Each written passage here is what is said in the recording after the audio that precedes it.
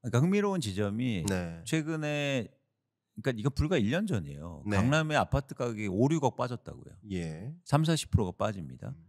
그런데 교수님 재밌지 않 이게 흥미로운 지점이 누가 팔았을까요?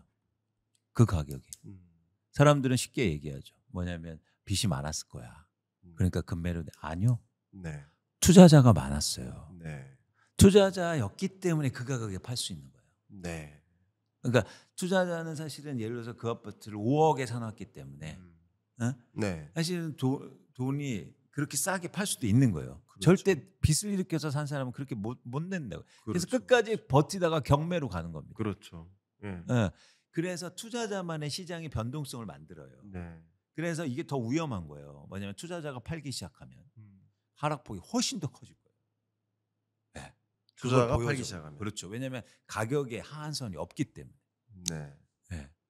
그러면 이렇게 한번 질문 드려보겠습니다. 저는 이제 가격이 네. 오르고 떨어지는 그 현상을 네.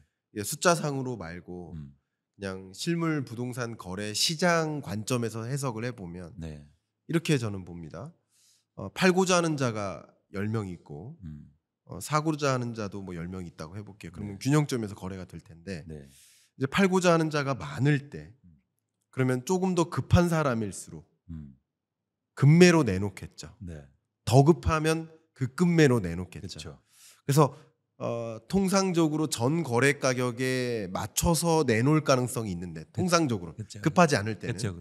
근데 급한 사람일수록 투자자들이 어, 급한 마음에 급매 급급매로 내놓는 과정에서 음, 가격의 조정이 있고 반대로 사고자 하는 자들이 이제 많아지면서 팔고자 하는 자보다 많아지는 과정에서 급매부터 소진될 거 아니에요. 음, 네. 다른 것이 같다라고 전제했을 때 네, 네. 다른 뭐 디자인이나 뭐 음, 어, 집안의 상태나 이런 게 같다라고 전제했을 때 아파트가 낮은 가격으로 매도가 된 되고 있는 그 매물부터 거래가 될 거 아니에요. 네, 네. 그래서 그 금매가 소진되는 과정에서 가격이 오르는 것이다라고 이 시장을 놓고 봤을 때 판단해요. 네, 네. 그러면 음. 지금 어쨌든 그 투자자든 내 집마 에, 실거주자든 음, 거래량이 뒷받침되고 가격이 지금 반등해서 오르는 이런 현상은 네.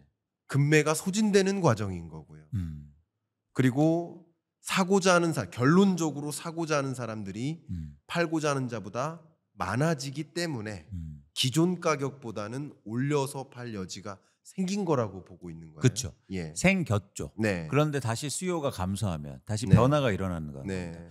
최근에 흥미로운 현상은 매도 물량이 줄지 않고 있어요. 네. 오히려 증가하고 있어요. 매도 물량이 증가하고 있다. 네, 그러니까 예. 무슨 얘기냐면 매도, 매도 물량이 왜 증가해요? 집값이 오를 것 같으면 걷어들여야죠. 네. 안 팔려고 하고. 네. 그래야 되는데 흥미롭게도 매도 물량은 증가하고 있어요. 네. 가격이 오르는데. 음. 그 얘기는 뭐냐면 나중에 살 사람이 없으면 어떡하지? 이런 우려가 벌써 집을 갖고 있는 사람들은 생기기 시작하고 있다는 겁니다. 네. 그런데 이미 제가 지금 이거 녹화하는데요. 네. 이제 거래량은 줄어들 가능성이 굉장히 높아요. 네. 그게 바로 강력한 근거예요. 예. 수요가 감소할 거다. 그렇군요. 예. 예. 그래서 뭐 빠르게는 사실은 9월부터 이제 감소할 가능성이 커 보이는데 네. 서울 아파트는 네. 그건 수요가 감소하죠. 근데 매도 물량은 증가한 상황이에요. 예. 집 보는 사람이 갑자기 이제 없어지기 시작하네. 음. 그럼 어떻게 하겠습니까? 다시 조정- 가격을 낮출 수밖에 없는 거죠. 그런데 저는 이 폭이 훨씬 더 클 수 있다고 보는 거예요. 네. 왜?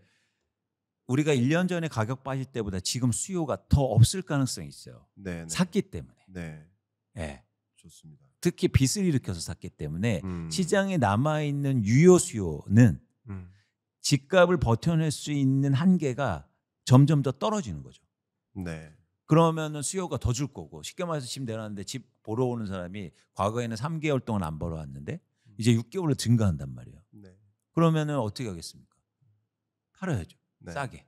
네. 그런 상황이 내년부터 시작되지 않을까 다시 음. 전망하고 있는 겁니다. 음, 좋습니다. 네. 그러면 제가 뭐 이광수 대표님께 이렇게 질문 드리는 건 조금 음. 경우가 아닐 수 있는데 음, 음, 어쨌든 그 애널리스트로서는 두 가지 중에 하나잖아요. 음. 어, 오른다 떨어진다. 그렇죠. 그러니까 오른 오를 거다 사 음. 떨어질 거다 사지 마. 네. 둘, 둘 중에 하나의 행동까지 요구하는 그렇죠. 방향성이잖아요. 그렇죠. 그러면 물론 지금 일시적인 상승이고 음. 다시 떨어질 수 있으니까 아직은 사지 음. 마라는 의견이신 거잖아요. 네. 그런 의견은 왜냐하면 거래량이 다시 9월부터 제자리로 줄어들 것이기 때문에 네. 그러면 거래량이 줄어드는 현상이라든가 어떤 시그널들을 보면 어 가격이 또 추가적으로 조정돼 다시 조- 조정될 수 있으니 음. 하지 말라는 판단을 할 수 있잖아요. 네. 그럼 첫 번째 질문 네. 거래량이 줄어드는 현상 맞습니다. 1번 네. 말고 또 그 밖에 어떤 것들을 어떤 시그널들을 우리 독자분들이 예의주시해야 될까요? 그 방향대로 갈 거라고 한다면 매도 물량 증가. 매도 물량이 네, 증가하는 그러면 이거는 뭐냐면 전형적으로 수요가 줄어들면서 공급이 증가하는 현상이에요. 그렇죠. 그럼 가격 하락폭이 훨씬 더 커질 겁니다. 좋습니다. 근데 만약에 수요가 줄어드는데 거래량이 줄어드는데 매도 물량도 줄어요. 예. 이러면 가격은 장기간 예. 보합으로 갈 가능성이 있어요. 그렇군요. 그렇죠. 예. 왜냐면 나는 안 팔아 사는 음. 사람 없어도 네. 이렇게 될 가능성이 있지 예. 않습니까? 네. 그것도 뭐 예측하는 한 부분이긴 한데 네. 크진 않다. 좋습니다. 아, 지금 상황을 보면 네. 그래서 두 번째 중요한 건 매도 물량이죠. 네. 네. 그럼 거래량과 매도 물량을 보면서 음. 근거를 주신 거예요. 그렇죠. 이 근거를 보시면서 만약에 거래량이 9월에 다시 빠지거나 음. 매도 물량이 또 9월부터 급격히 늘어나거나 정확히는. 예, 9월부터 네. 그런 현상들이 있다면 굳이 이 하반기에 서둘러 사지 마셔라라는 액션을 그렇습니다. 요청하신 거고요. 그렇습니다. 사지 말라는 거 해서 좀 더 나가서 예, 더 좋은 기회가 온다. 사실 이게 방점이에요. 좋습니다. 사지 말라는 게 아니에요. 더 중요한 건 좋은 기회가 더 온다. 오케이. 네. 더 좋은 교육, 기회가 올 수 있으니 그렇죠. 아직은 음, 한번 보셨으면 좋겠다라는 의견이에요. 네. 반대로 음. 반대로 어쨌든 이광수 대표님이 말씀하셨던 방향대로 안 갈 수도 있잖아요. 그렇죠. 어, 당연하죠. 뭐 확률이 적더라도 네, 네. 있- 있지 않겠습니까? 네. 그 방향대로 간다면, 그러니까 네. 쉽게 말하면 지금의 상승세가 25년까지 계속 이어질 거라는 전제. 음. 예. 라고 한다면, 음. 그러니까 이게 좀 조심스러운 질문이에요. 음. 그래 그런다면 어떤 조건이 형성될 때 그럴 수도 있다고 생각하실 수 그거는? 예. 제 예측과 다르게 투자 수요가 들어와요. 교수님 네, 말씀처럼 네, 투자 네. 수요가 증가하면서 거래량이 줄어드는 게 아니라 오히려 증가해. 네. 예? 예. 이러면서 근데 네. 가계 부채는 억제한다니까 가계 부채는 늘지 않는데 네. 수요가 좀서 거래량이 증가해. 예. 이러면 집값은 계속 오를 수 있다. 좋습니다. 네, 그래서 중요한 건 둘 다 거래량을 보시는 게 중요해요. 좋습니다. 거래량 증가한다는 건 뭐냐면 누군가 새로운 수요가 들어온다는 거니까. 예. 예를 들어서 이런 거죠. 어, 올해 새로운 수요가 신생아 대출 수요였다면 음. 뭐 내년에 정부가 아니면 뭐 아래 이젠 대학 졸업 대출도 해줄게. 음. 이러면 새로운 수요가 시장에 들어오잖아요. 만약에 만약에 예를 들면 예. 예. 이것처럼 이런 경우가 있으면 거래량이 다시 증가하겠죠. 그럼 집값은 다시 오를 계속 오를 수도 있다라는 좋습니다. 말씀드립니다. 거기에서 트- 가장 중요한 포인트는 투자 수요다. 어, 네. 좋습니다. 네. 그러니까, 그러니까 저는 일부러 두 가지 시나리오를 다 드린 거예요. 음. 근데 이- 이렇게 요청 드리는 게 어. 예의가 아닐 수도 있어요. 음. 그러나 저는 두 가지 시나리오를 한번 다 요청 드리고 음. 제가 전망하는 그 근거들을 가지고 음. 말씀드리기보다 음. 이강수 대표님께서 지금 아, 두 번째 시나리오로서 제시한 음. 그 시나리오 상에서 그 음. 근거들 상에서 제 의견을 좀 드릴게요. 네. 그러니까 제 다른 근거들을 음. 가져오지 않고 음. 말씀 주신 그 근거들 가지고 그 음. 조합만으로 의견을 드릴게요. 음. 22년, 3년, 4년 어, 엔캐리 트레이드가 어마어마하게 일어납니다. 음. 왜냐하면 일본은 마이너스 금리를 뭐 8년 동안 유지했고 22년부터 미국이 대대적으로 금리를 인상하면서 돈의 이동이 있는 거예요. 어, 지금 엔캐리 청산에 대한 공포나 우려감이 좀 있어요. 주식 투자자들은. 음. 근데 미국의 금리 인하하는 그런 과정에서 완만한 청산 절차는 있을 수 있다고 합니다. 저는 이런 것들을 돈의 이동이라고 설명을 하는 거예요. 음.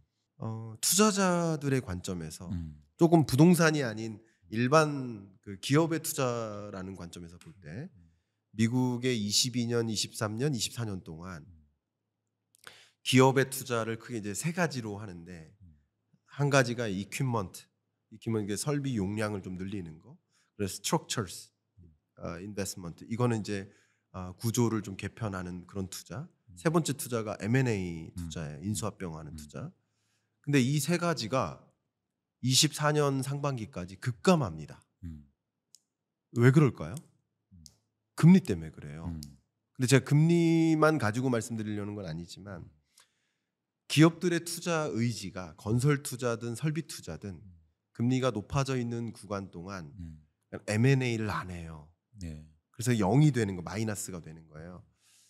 그러다가 이제 금리를 이제 인하하고 24년 하반기에 그리고 25년, 26년 한국을 기준으로 말씀드린다면 어, 지금 3.5%의 기준금리에서 26년까지 2% 정도의 중립금리를 향해 그러니까 예전처럼 여러분 20년, 21년과 같은 제로금리 시대가 올 가능성은 상대적으로 희박합니다. 경제 위기가 오지 않는 한. 음.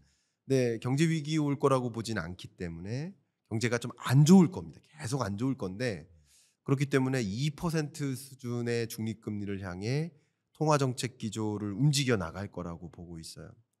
그러면 24년 하반기보다 25년 상반기가 25년 상반기보다는 25년 하반기가 기업들의 신규 투자를 할 만한 여건은 더 조성되는 거예요. 음. 금리가 5%면 음. 3% 수익성을 목표로 M&A 하지 않거든요. 음. 근데 금리가 제로화되면 음. 3% 수익성 사업도 M&A에서 해보자 하는 움직임이 있거든요. 음. 그런 것처럼 제가 비유적으로 설명을 드렸는데 음. 투자자들의 마음은 음. 지금 기준금리 인하한 적이 한 번도 없거든요. 음. 기준금리 인하할 거라는 뭐 예측과 전망만 있었던 거지. 음. 근데 실질적인 기준금리 인하 액션이 매우 점진적으로 천천히 이루어질 거라고 봅니다. 25, 26년까지. 음. 그런 과정에서 음. 투자자들은 어쨌든 시중금리가 중요하고 음. 기준금리가 3.5에서 2%로 내려오는 여정에서 음. 예를 들면 뭐 한 2.5%나 이 정도까지 내려오는 여정에서는 어, 지금까지는 내 집 마련 수요가 이 거래량을 일으켰다고 보지만 투자자들의 수요가 같이 만날 수 있는 여지가 생긴다라고 음. 의견을 좀 드리고 싶어요. 저의 의견은. 그러니까 간단하게는 금리 인하 때문에 투자 수요가 들어올 수 있다. 이거네요. 한 가지 굉장히 중요한 포인트가 그거죠. 네, 그렇죠. 예, 근데 예. 그 점에서 저는 이제 다른 의견을 갖고 있는 게 네. 그러니까 저는 금리 인하의 방향성이 아니고 금리 인하의 폭이라고 생각해요. 그러시군요. 그러니까 예. 뭐냐면 폭이 커야 예. 움직임이 일어날 거다. 네. 그러니까 저는 투자 기업 투자 얘기하셨는데 기업 투자의 핵심은 네. 금리의 변화가 아니라 핵심은 사실 animal spirit이라고 네. 전 보고 있습니다. 네. 그러니까 그건 뭐냐면 그동안 투자를 안 한 건 불확실성이 커지고 있기 때문이에요. 네. 그러니까 내가 조달 금리하고 내가 수익률을 비교해서 투자하는 기업보다 네. 의사 결정을 해서 오너가 야 투자해 돈 네. 될것 같아 사장님이 금리가 높은데요 야 우리 20% 벌면 돼 이런 사실 경제학에서 얘기하지 네. 않습니까 케인즈가 음. 얘기한 게 바로 animal spirit이고 그게 오히려 투자의 가장 결정적인 동인이다 음. 그러니까 뭐냐면 그런 동인을 만드는 건 결국에는 방향성이 아니고 폭이라고 생각해요 음. 왜 코로나 때 금리 인하 때문에 자산 가격이 올랐냐면 급격하게 떨어졌기 때문이에요. 음. 인하된 게 아니고요. 네. 그래서 잘못 생각하신다고 사람들은 음. 인하되면 자산 가격이 올라서가 아니라 네. 인하의 폭이 컸기 때문에 사람들을 움직인 거예요. 네. 그런데 그럴 가능성이 있습니까? 지금 예를 들어서 한국의 기준금리가 3.5%인데 갑자기 1%로 다시 갈 수 있냐고요. 가능성은 희박합니다. 그렇죠. 그런 네. 차원에서 투자자들을 강력하게 움직일 수 있는 동의는 부족하다. 네. 거시경제 차원에서. 좋습니다. 전 그렇게 보는 거예요. 그게 그래서 저는 반대 의견인데 뭐냐면 미국의 기준금리를 낮춰도 미국 기업들은 투자 안 할 거예요. 왜 불확실성이 크기 때문에. 네. 내가 금리 낮아서 조달 금리는 낮아지지만 돈 벌지 못할 것 같은데 어떻게 음. 투자를 합니까? 그래서 오히려 미국의 투자는 줄어들 수도 있다. 그래서 이런 과정이 반복되면 오히려 과거에 아주 공교로운 지점이 있는데 금리가 크게 올랐다가 꼭 이 그 말씀 피봇이라고 하죠. 네. 피봇하는 시점에 경제 위기가 나타나는 경우가 많았어요. 네. 그렇죠. 흥미롭게도 네. 그건 뭐냐면 사람들의 그런 심리가 응축돼서 자산 시장에 포함되기 때문에 공교롭게도 이상하게 금리는 내려가는데 경제 위기가 와버려. 네. 그 부분은 좀 다른 생각이에요. 예, 그래서- 저는. 그래서 어쨌든 저는 중요한 건 음. 금리의 방향성이 아니고 폭이다. 좋습니다. 근데 폭을 그렇게 낮출 수가 없다. 좋습니다. 예, 그렇게 보고 있는 겁니다. 이광수 대표님께서 이 말씀 주셨던 그 피벗이라는 것, 그러니까 금리 인하 시점과 그때마다 이제 경제 위기가 같이 찾아오는 일들이 많았다라고 이렇게 얘기하신 그 부분은 어, 제가 할 얘기가 굉장히 많고요. 음. 그 부분에 대해서 좀 오해를 많이 풀어드리고 싶은 마음인데 시간 관계상 그 얘기를 하면 한 시간 정도 가야 되니까 네. 네, 여기서는 그건 다음에 하시고. 그건 다음에 네. 뭐 하도록 하고 말씀 주셨던 그 금리 인하 폭과 관련된 말씀 음. 저는 오히려 폭보다 방향이 중요하다고 생각합니다. 음. 예. 그리고 경제는 방향이라고 생각합니다. 부동산 시장도 방향이라고 음. 생각합니다. 어, 그런 면에서 제가 뭐 어린 그러니까 학창 시절에는 이 행동 경제학 공부를 안 했었는데 네. 지금 뭐 24년 들어서 행동 경제학 공부에 좀 빠졌습니다. 음. 그래서 이 부분은 좀 행동 경제학 쪽으로 좀 설명을 드려야 될 것 같아요. 네, 네. 이게 어떤 뜻이냐? 어, 24년 지금 금리가 높다라고 인식을 하세요. 네. 물론 아니신 분도 계세요. 네. 역시 이해관계에 따라 다를 겁니다. 음. 근데 통상 이런 높은 금리를 제약적 금리라고 하니까 음. 우리 한국 경제가 부담하기 좀 어려운 높은 금리다라고 생각을 하세요. 그럼 높은 금리라고 받아들이는 이유는 네. 금리가 절대적으로 높아서가 아니라 네. 근래 경험했던 금리가 낮았기 때문이다. 그렇죠. 20년, 21년의 금리가 낮았기 때문에 음. 그때랑 비교해서 비교적 높은 것처럼 인식하는 거예요. 네, 네. 그래서 이광수 대표님이 평상시에 뭐 오늘 낮까지 여러 사람들을 만날 때는 네. 뭐 그냥 어 사람들이 이렇게 생겼겠지 생각하지만 네. 지금 저를 보고 나서는 눈높이가 좀 높아질 거. 방금 저를 보셨기 때문에. 네. 어, 이 정도는 생겨야 미남이지. 죄송합니다. 독자분. 농담 삼아 말씀드렸습니다. 네. 제가 무슨 말씀을 드리려는 거냐면 금리의 방향성이 그만큼 중요한 것이다. 근데 24년 지금의 아, 매수세가 일어나는 이유는 내 집 마련을 시도하는 사람들의 이유도 혹은 투자자를 투자자들도 마찬가지 그렇게 내 집 마련으로 혹은 투자자로 어, 거래하는 이유는 이제 금리의 방향성이 더 이상 추가 인상이 없고 인하할 결정을 할 것이다. 아, 라는 판단이라고 생각하고요. 네. 3.5%의 금리에서 3.25%, 3% 금리로 이렇게 내려오는 구간에는 그 기준이 3.5%가 된다는 거죠. 기준점이 또 이동하는 거예요. 그 3.5%의 기준 금리를 지금 13연속 동결 했거든요. 그러면 1년 7개월인가 동결인 겁니다. 근 2년 동안 동결을 하다가 10월, 11월에 금리를 인하한다고 하더라도 약 2년 동안 금리를 동결한 3.5%에 익숙해져 있다가 거기서부터 3.25, 3%로 내려오는 국면에는 이제 금리 그렇게 높지 않다라고 새롭게 받아들일 가능성이 있겠다. 그래서 이게 행동경제학적으로 봤을 때 근래 경험했던 금리가 기준이 되는 것이고 과거 뭐, 뭐 30년 전 금리 뭐 10% 이랬었잖아요. 그러니까 그때랑 역사적으로 우리 금리를 놓고 보면 지금 금리도 그렇게 높은 게 아닌데 높다고 인식한다면 근래 20년, 21년이 기준이 됐었기 때문이고 네. 또 24년, 25년에는 기준선이 또 옮겨지면서 어 그래서 뭐 내 집 마련 수요뿐만 아니라 투자 수요도 만날 가능성이 있지 않을까. 그래서 저는 가격이 굉장히 강하게 뒷받침될 만한 시장은 아니라고 생각해요. 이, 이 경제가 25년까지도 강한 상승 흐름으로 보진 않습니다. 제가 누차 대표님하고 대화를 나눴었지만 이제 강보합장이라고 생각을 해요. 근데 강보합장의 모습이 좀 지속되지 않겠는가 하고 보는 그 근거가 어, 결국 이 소비자, 투자자들의 혹은 내 집 마련 어, 의사결정자들의 마음이 그렇게 움직여서다라고 저는 생각을 하고 있는 겁니다. 저도 이제 행동경제학에서 관심이 되게 많고 전 오랫동안 공부를 또 해왔고 네. 마찬가지로. 근데 아주 그 흥미로운 지점이 있어요. 금리를 네. 대하는 사람들의 자세. 네, 어, 금리가 저금리였을 때 어, 변동 금리 대출이 증가합니다. 네, 네, 맞아요. 충격적이죠. 예, 예, 왜냐하면 예. 사람들은 적응적 기대를 하기 때문이에요. 음. 그러니까 금리가 그동안 떨어졌으면 네, 앞으로도 계속 떨어지겠지. 네. 그게 심지어 0%대 기준금리인데도 그러면서 어떤 책이 잘 팔리냐면 마이너스 금리 책이 잘 팔리기 시작해요. 네, 사람들은 자신은 뭐냐면 그동안 경험했던 거를 기대하기 시작하거든요. 네. 그러니까 이- 왜 이게 해석의 여지가 있는 거냐면 네. 교수님 말씀하신 게 맞아요. 예. 자, 금리가 인하된다고 하면 변화가 일어났겠죠. 예. 그런데요. 금리가 인하되면 어떤 생각이 드는지 아세요? 앞으로 더 떨어지겠네. 예. 기대하게 돼요. 예. 그렇게 되면 내, 내 행동을 미, 미루게 되는 겁니다.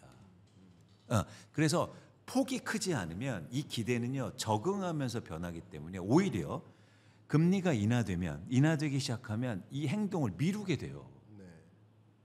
예. 이게 현실적으로 나타나요. 예. 그래서 마치 금리 인하되기 그 직전, 실제로 실행되기 직전에 자산 시장이 먼저 움직이고 네. 막상 그게 현실화됐을 때는 오히려 시장이 안 좋은 이유예요. 네. 그래서 우리가 계속 흔히들 선반영 됐느니 음. 그 이유가 바로 행동에 있다고요. 기대가 어떻게 행동으로 연결되니 그래서 공교롭게 또 이럴 수도 있다.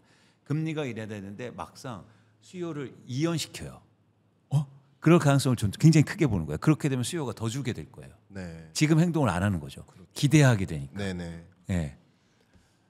좋습니다. 이것도 이렇게 되면 예. 저희가 한 시간을 더 또, 얘기해야 또, 또 돼. 토론을 해야 됩니다. 그러니까 근데 이, 이. 관점에서는 예.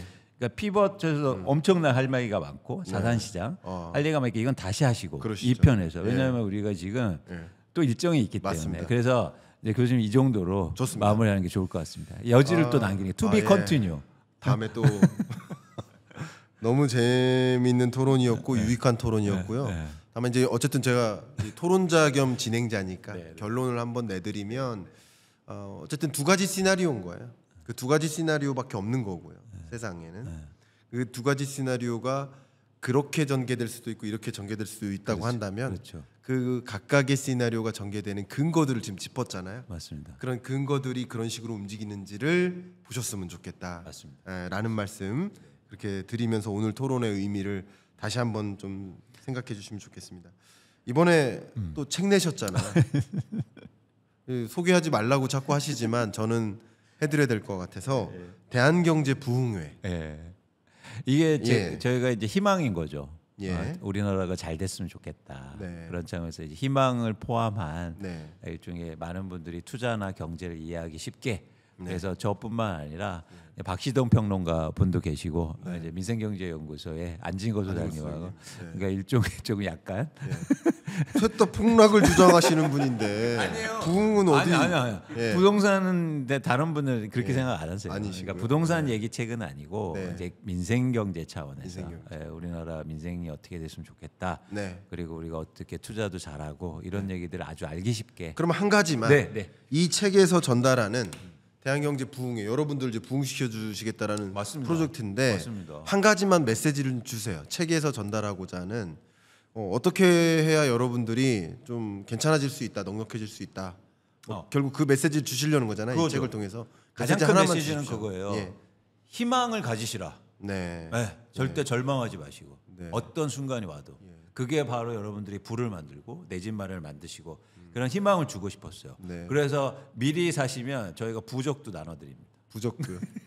뭐 부적은 안 받겠습니다. 아, 지금 사면 그쵸, 그쵸. 미리 사는 겁니까? 네, 네. 아, 예, 예약이거든요. 아 예약 구매. 네. 여러분 네. 제가 고정 댓글로 이 대한경제 부흥회 어, 남겨드릴 테니까 고맙습니다. 관심 있으신 분들 꼭 고맙습니다. 확인해봐 주시길 고맙습니다. 바라고요. 네. 어, 어떤 메시지를 어, 정확하게 전달하고 있는지 한번 네. 하나하나 꼼꼼히 살펴봐 주시길 바라겠습니다. 마무리 질문 드리겠습니다. 네. 음. OX인가요? 아닙니다. 네. 어떻게 살 것인가 네. 어떻게니까 OX가 아닙니다. 음, 어, 제가 마지막 드리는 질문은 리브입니다. 음. 우리는 어떻게 살아야 된다. 혹은 어떻게 이광수 대표님은 살고 싶으신가. 네. 어, 뭐 여러 가지 다 괜찮습니다. 어떻게 살 것인가. 전 거기에 대해서 명확한 답을 갖고 있어요. 네. 뭐냐면 저는 어, 제 살아가는 이유이기도 하고 저는 옳은 일을 하자. 영어로 하면 예. to the right thing. 네. 이에요. 예. 그래서 저는 항상 옳은 일을 하려고 노력하고 네. 그렇게 살아가고 싶고 예. 그렇게 살아갈 겁니다. 네. 예. 그러면 많은 독자분들께도 같은 메시지를 주, 고. 그렇습니다. 옳은 일을 하자. 그렇죠. 그래서 특히 저희는 사실 경제를 얘기하고 투자를 얘기하잖아요. 네. 근데 공교롭게도 제가 보니까 예. 돈을 많이 버는 사람들의 공통점이 있어요. 뭐죠? 일반적으로 물론 그렇지 않은 분도 계시겠지만 예, 예. 옳은 일을 하세요. 예, 정당한 일을 하시고 네. 그런 분들이 오히려 편하게 아, 노후도 즐기시고 부도 이루실 수 있다. 그런 차원에서는 어, to do right thing 음. 하셨으면 좋겠다. 네. 특히 어, 우리가 이런 불확실성 시대에는 옳은 일을 하는 게 더 중요할 겁니다. 네. 예, 그래서 그런 차원에서 여러분들이 저희가 같이 음. 경일남도 구독자분들도 그러셨으면 좋겠다라는 생각 을 갖고 있습니다. 좋습니다. 네. 어, 브라이튼 리의 라이팅 맞습니까? 브라이튼 리의 라이팅 이 사람이 이렇게 마무리하고요. 다음에 또 초대해서 아, 이 조- 조만간 해야 이 2탄 해야 돼요. 하시죠. 예. 예. 못한 말이 너무 많아. 그러니까요. 아마도 맞습니다. 옳은 일을 여러분은 하실 수 있게 네. 어, 많이 용기 주신 어, 우리 이광수 대표님께 다시 한번 감사드리고 네. 다음 일정이 있기 때문에 여기서 마무리하겠습니다. 고맙습니다. 감사합니다.